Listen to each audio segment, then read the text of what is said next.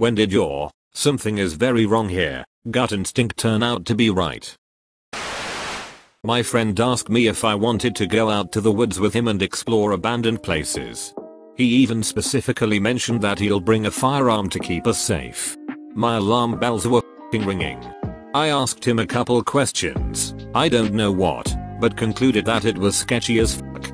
My gut told me not to go, so I exited from the conversation while he went asking others the same question. Fast forward a couple years I heard that he was in prison. I was stunned, but remembered the memory when he asked me if I wanted to go into the woods. Turns out he took a freshman, him being senior at that time, and kept his promise of looking for abandoned places. He found a cabin in the woods, brought his friend inside and as soon as his friend turned his back, bam. Knocked dead. He shot him in the back of the head. I reminisce on this quite often and think what if I had agreed? Every time I think of this I'm very grateful I'm alive. Driving with a friend of mine through a pretty remote forest road. Couple of guys in the middle of nowhere tried flagging us down. I almost stopped for them before an alarm went off in my head and I stepped on the gas. My friend started saying what the foo, and at the same time there was a shot and a bullet hit the back of the car. We made it to a police station. Turns out there had been a bunch of people and vehicles going missing in the area that same week. My freshman year, my math class had a substitute teacher who we all agreed was really weird and creepy. He really only talked to the girls and made inappropriate comments. For context, this man was easily in his 60s. Well, when our teacher come back the next week we complained to him about the sub and talked crap about him being a creeper. The teacher was very upset. He said, I will not stand sub being disrespected like this. I have known this man for a decade and he is a kind, good man who would never do anything to a student or any person. One week later sub was caught in the middle of the night breaking and entering a college girl's apartment and I believe trying to sexually assault her or doing some other perverse thing. Teacher came in the next day and apologized. Edit. He was only charged with residential burglary, a felony, but it was a woman's home, at night. I had a bad feeling about my aunt's boyfriend. Told my mom he seemed creepy and I didn't want to stay the night there anymore. I got a bit of a lecture for calling him creepy, but she made sure I was never around him alone. And good thing he turned out to be a child molester who is currently in jail for his involvement in a kiddie on ring.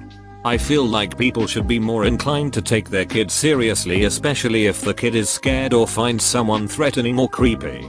No they might not just be being silly, perhaps they are more attuned to recognizing safe vs unsafe people.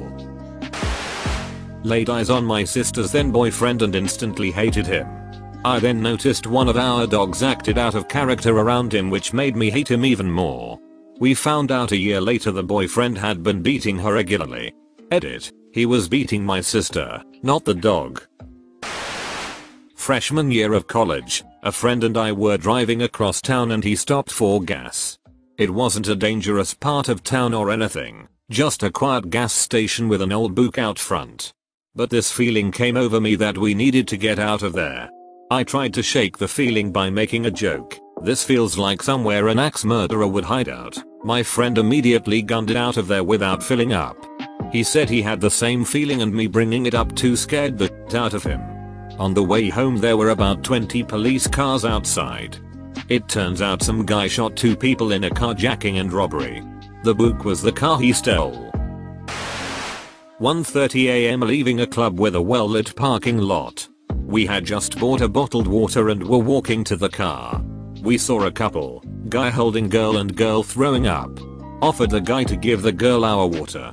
He took a swig, didn't give her any, and put it back on the car they were between. We were a little taken aback and told him to give her the water. He made a vile, disgusting face as if we were cheering him on.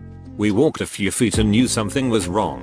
Had the guys we were with check back and he was pants down while she was unconscious, not puking. He was forcing himself from behinks. From the front, it looked like all clothes were still on. Once discovered, they fell to the floor and she smacked her head on the pavement. My friends beat the it out of him and we called the police tried to comfort the girl although she was very confused and disoriented.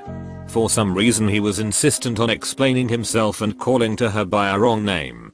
Filed a police report, found her dumbfounded friends, answered all of the detective's questions when they called for a follow-up statement to give to the district attorney.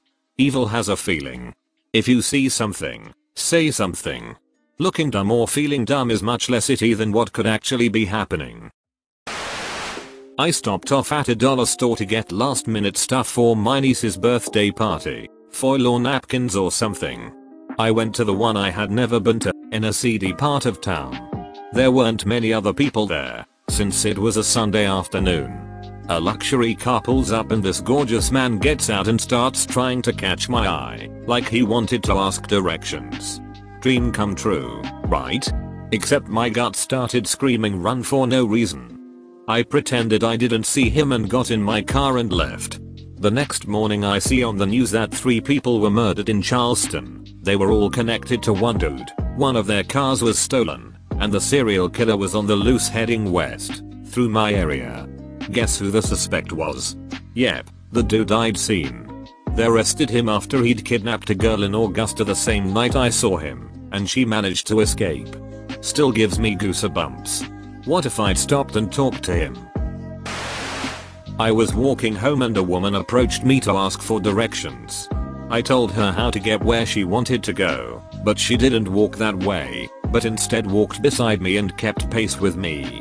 This made me incredibly uncomfortable, so I said have a nice day and doubled my speed, not running, but outpacing her significantly. A moment later, I heard running footsteps.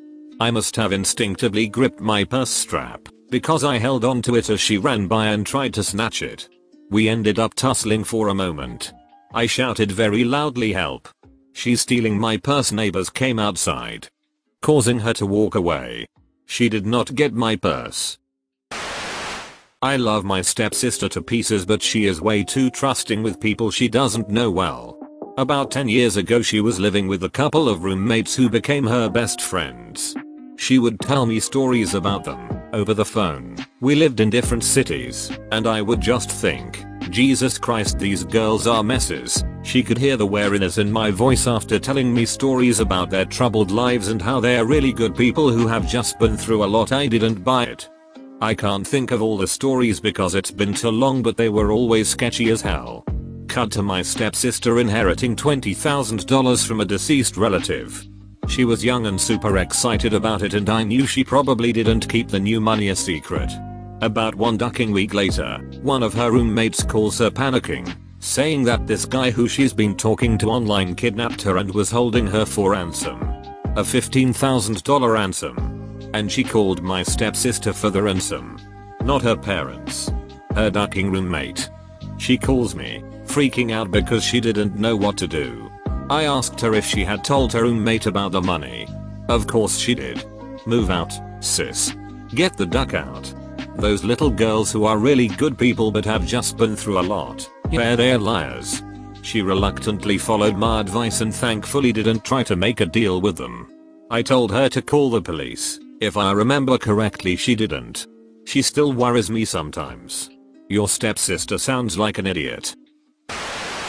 I'm a type 1 diabetic. I began noticing that my kid was having a tough time potty training. He was drinking a lot and peeing a lot. I spoke with his ped about it and she dismissed it, saying we live in a warm area and toddlers are likely to drink more, and therefore pee more, and that I shouldn't hear hoofbits and assume zebras. He had no other symptoms whatsoever, happy healthy looking little dude. I tried to calm myself down, but I just knew something wasn't right. Finally I took one of his massively full pull-ups and used a keto strip to check his urine, and then proceeded to head right to the hospital. He was diagnosed in November 2015. Got him a new pediatrician immediately. Taking the question literally, when I realized that my appendix was about to burst and went to the hospital. That's all for today's video.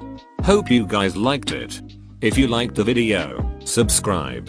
If you want to support the channel, the best thing you can do is simply watch the videos. But if you really want to see the channel thrive, subscribe, like, comment, add to favorites, add to playlist, and share with friends.